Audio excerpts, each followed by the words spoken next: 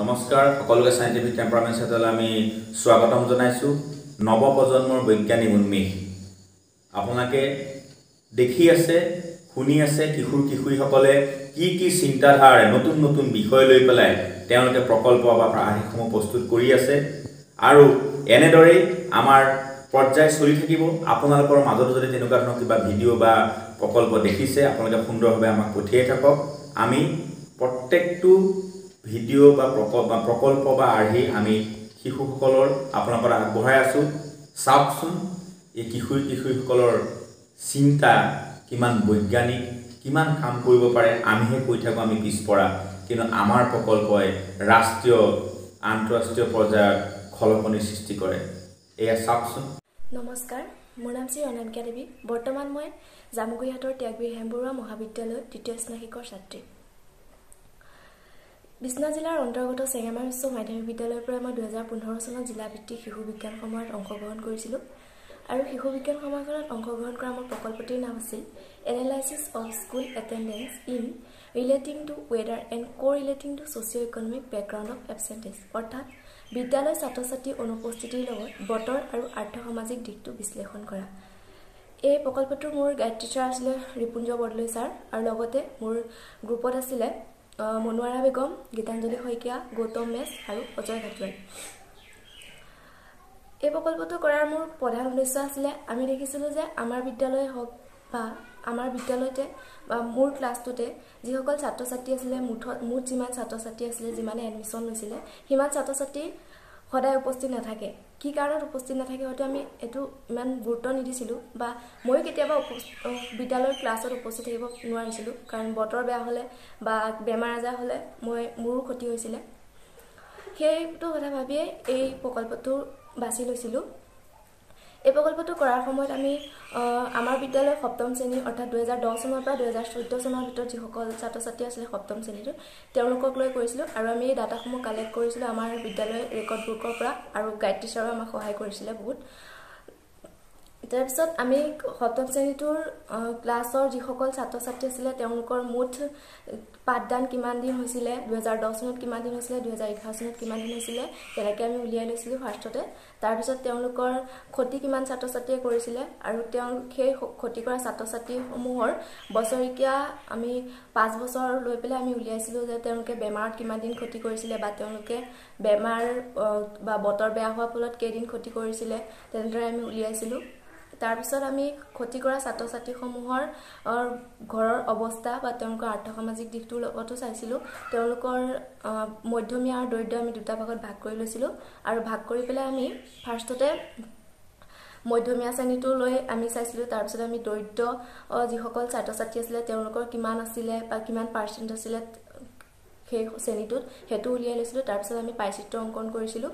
তাৰপিছত শেষত আমি ফলাফল পাইছিলোঁ যে ছাত্ৰ ছাত্ৰীসকলৰ ক্ষতি কৰাৰ লগত এই বতৰ আৰু আৰ্থসামাজিক দিশটো প্ৰত্যক্ষ সম্পৰ্ক আছে। কাৰণ তেওঁলোকৰ বতৰ বেয়া হোৱাৰ ফলত তেওঁলোকৰ বিদ্যালয় উপস্থিত থাকিব নোৱাৰে বা বতৰ বেয়া হোৱাৰ ফলত তেওঁলোকৰ বেমাৰ আজাৰ হয় আৰু আৰ্থসামাজিক দিশটোৰ লগতো সম্পৰ্ক আছে কাৰণ তেওঁলোকৰ দৰিদ্ৰ আৰু মধ্যমীয়া শ্ৰেণী দুটাৰ হাতত যেতিয়াই যিটো তেওঁলোকৰ প্ৰয়োজন সেইটো হয়তো ছাত্ৰ ছাত্ৰীসকলে নাপায় বা বিদ্যালয়ত যি বতৰ বেয়া হ'লেও তেওঁলোকে আহিব পৰাকৈ তেওঁলোকৰ হাতত সা সুবিধাসমূহ নাথাকে সেইবাবে তেওঁলোকৰ ক্ষতি হৈছিলে বিদ্যালয়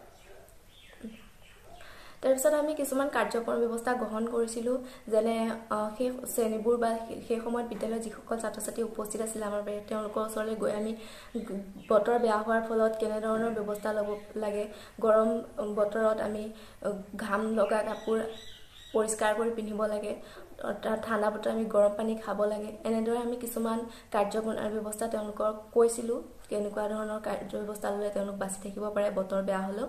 তেনেকুৱা কিছুমান কাৰ্য ব্যৱস্থা আছিল।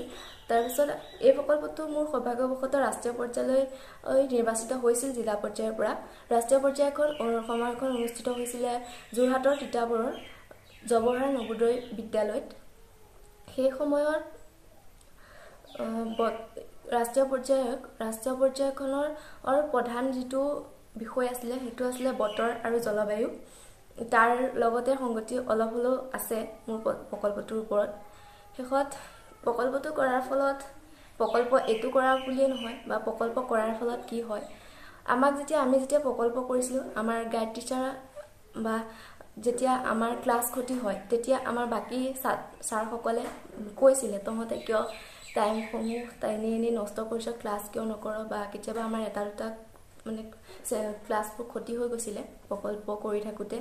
কিন্তু এইটো নহয় যে প্ৰকল্প কৰাৰ ওপৰত আমাৰ টাইমবোৰ নষ্ট হৈছে সময়বোৰ আমাৰ এনেই গৈ আছে এইটো নহয়। কাৰণ এটা প্ৰকল্প কৰাৰ ফলত আমি এইটো অভিজ্ঞতা হয় যে আমাৰ সৰু কম এটা বিষয় বা সৰু এটা বিষয়ত আমি কম সময়ৰ ভিতৰত কেনেকৈ বা বেলেগ মানুহে বুজি পোৱাকৈ বা চবেই বুজি পোৱাকৈ বুজাই দিব পাৰোঁ সেইটো আমাৰ প্ৰকল্প কৰাৰ ফলতে হয়।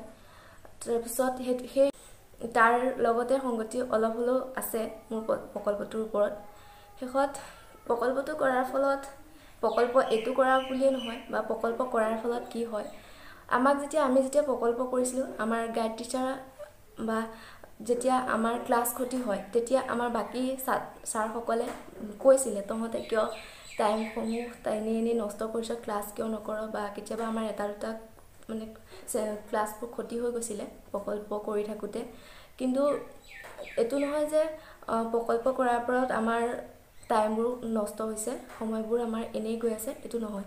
কাৰণ এটা প্ৰকল্প কৰাৰ ফলত আমি এইটো অভিজ্ঞতা হয় যে আমাৰ যে সৰু কম এটা বিষয় বা সৰু এটা বিষয়ত আমি কম সময়ৰ ভিতৰত কেনেকৈ বা বেলেগ মানুহে বুজি পোৱাকৈ বা চবেই বুজি পোৱাকৈ বুজাই দিব পাৰোঁ সেইটো আমাৰ প্ৰকল্প কৰাৰ ফলতে হয়।